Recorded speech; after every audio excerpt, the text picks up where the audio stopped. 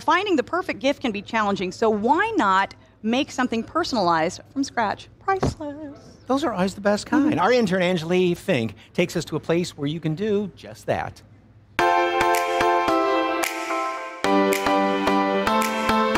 Man, I wish my coffee cup was finished so I could have some coffee right now.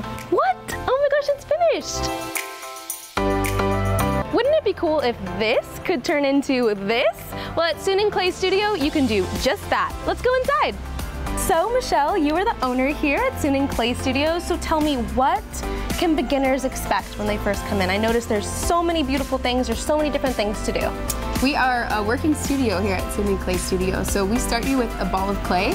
Um, you have to create your own piece from beginning to end. And probably the most of the people that we get in here have never touched clay before.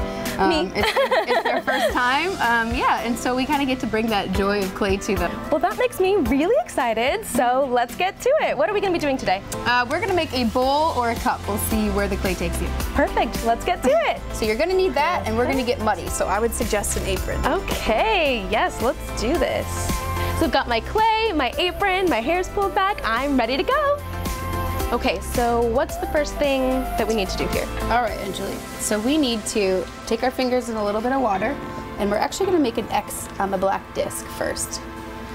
Then we're gonna take our balls of clay, throw them down pretty hard.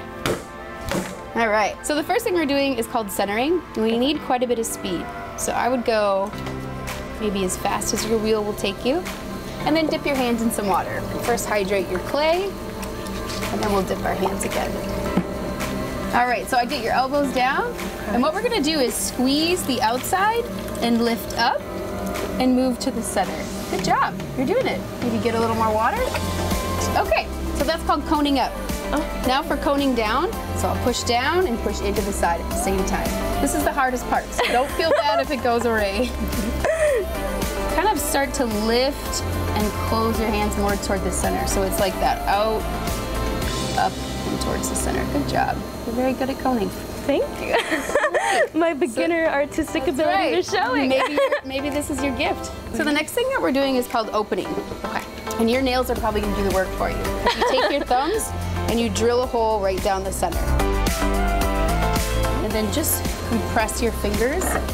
Make that base really nice and strong. So now we are ready to lift.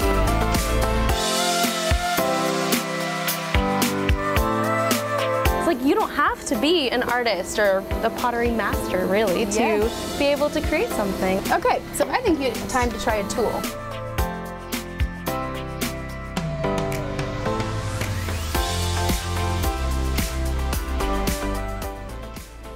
Our fabulous intern, Yes. and not afraid to get our hands dirty. I love that. I like that. and look what she made. That's fantastic. finished product right here. With your own two little hands, right? I know, and it was my first time doing it too. Can you believe that? Favorite part about interning? Yeah.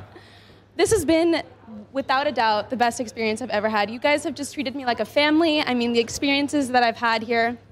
I mean, I just, I'm so thankful and so grateful for you guys. And before she goes back to college, you have another internship. Yep. I do. I'm going to be in DC this fall at CBS News. So exciting things, but I will miss you guys so much. Turn around. Yes. We got Oh something for you. yes. God, uh, This is her last You day as our intern, so. Sa- Sabrina's all loaded with cupcakes and Yeah. goodies today. So In true SA Live fashion, we I send you should've- off with food. Oh my gosh. Thank you guys so much. you have been a pleasure. Best of luck. yes. Thank you.